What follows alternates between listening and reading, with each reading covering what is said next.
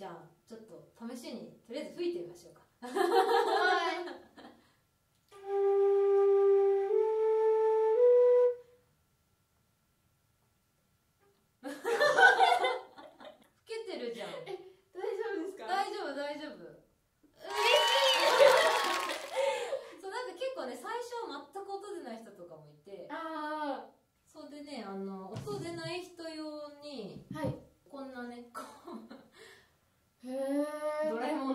いすごい。なやつが初めて見ました。えはあどこにここがそう回ると、まあ、大体フルートは吹けますよっていう。でこことかだと正面すぎるし、はい。フルートはやっぱ楽器ここに当ててるんだけど、はい。中にね息を入れていかないといけないので、はい。なんとなくイメージ的にこの辺を狙う感じで吹くと良くなる。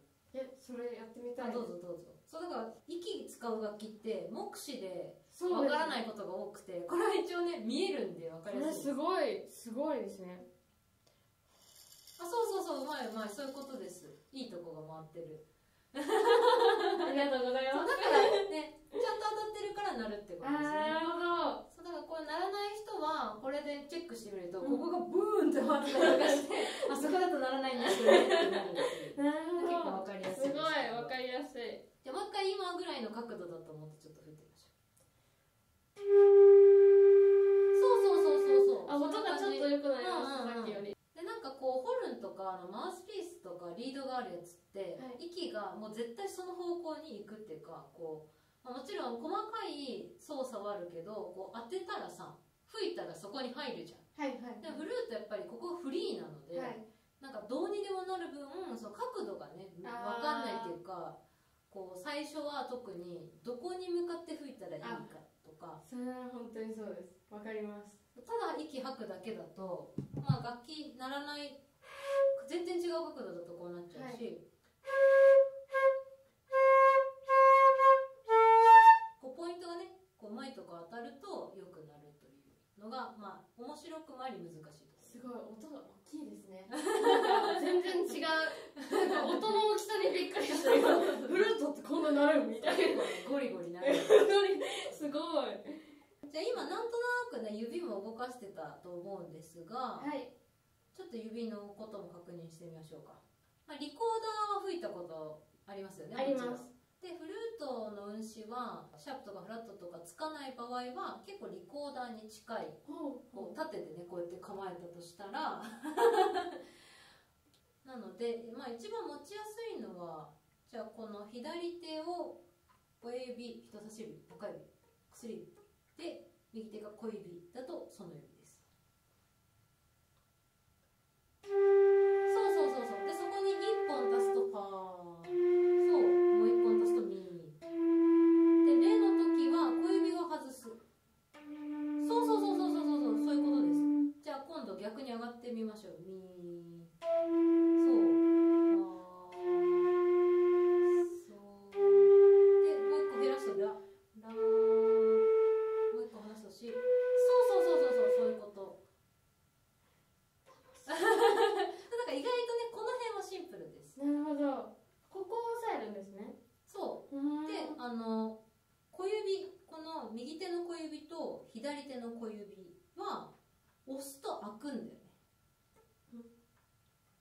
今までのキーって普通のキーは押したら閉じるよね。あなるほど。そうそうそこう押すとここが開くってこれが開くってことですよね。うそうそうそうそうそうそう。こっちも押すとこの裏のここがペコペコ開いてる。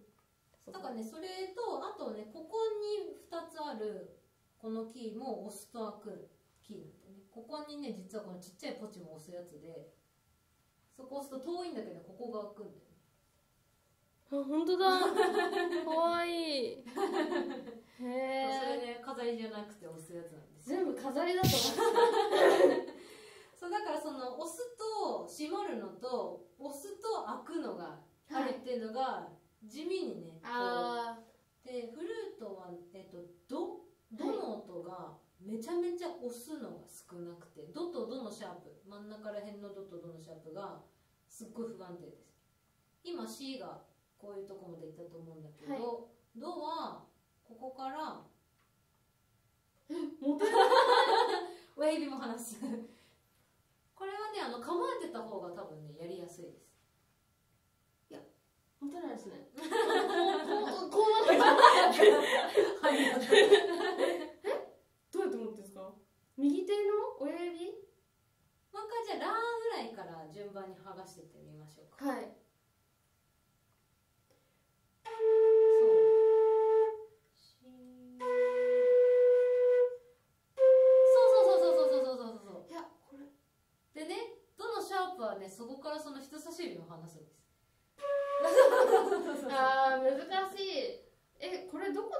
てるんですか？これは、まあ、一番まず、えっと、キーを押さないのが右手の親指は何にも動かさないので、まあ、ここでね持ってるっていうのがまず1個あります。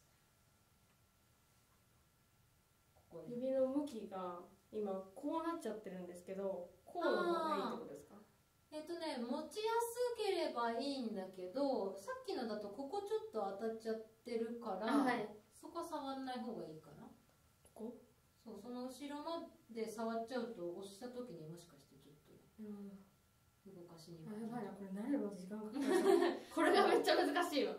フルートってこう見た目パッと見優雅そうに見えるんですけど実際構えてみるとね長いんですよ。思ってるよ長い。長いしなんかちょっと重い。ホルンとかって結構あのこのここら辺とかの筋肉で結構支えるんですけど、うんうんうん。なんだろうこの棒をくバランスをそう心もとない感じでそうそうなんですよ。なんかフラフラする。フラフラするしちょっと怖いな。怖いな。そう最初だからみんなねその持ちにくさが結構はい吹きにくいのもあるし、持ちにくいっていうのもある。そうですね。なるほど。なんか一番フリーというか楽器を持つために使えるのは右手の親指なので、まあ、こう持つっていうか乗せるって感じかな。こう右手の親指はこう楽器をこう重力に対してこう乗せておくみたいな。こっちに傾いてきちゃうのはどうすればいいんですか？そう。でおっしゃる通りでさっきも言ったけどここがねすごいメカメカしいんですよフルートって、はい。だから圧倒的にここが重くてだ本当はねこうなってるのが一番楽なんだよね。あそう。で すそうでもそうするとこういう角度に なってやばいフレディ・マーキュリーみたいになっちゃうやばいやばい右手の親指とあと左手のねここの部分人差し指の部分があーここ？こうそうそうそうちょっと乗せられるので。わかりました。でこれもね人によるんだけどあの私は結構ねここでクイッて持つタイプなんだけど、はい。まあここも持ちすぎると人差し指は使うのでこうギュッてなっちゃうとここが動かしにくくなっちゃうんだよね。はい。なので、まあ、人差し指が動く範囲でここ、まあ、乗せるって感じここも。はい。であとはここで3点3点指示って言います。なるほど。落とすこととかってないんですか？落とすことはさすがにない。初心者すぎてもないですか？初心者の人はこうビビって持ってるから。あああそっか。だ気使ってるから大丈夫かな。なるほど。車の運転みたいな感じですね。あ ビビって運転してるから事故んないみたいな。私は免許持ってるけど運転できないけど。私も最近ちょっと全然運転してもペー私はあのガチで運転できない勢なんで仮免許実技2回落ちたから。そうガチだった。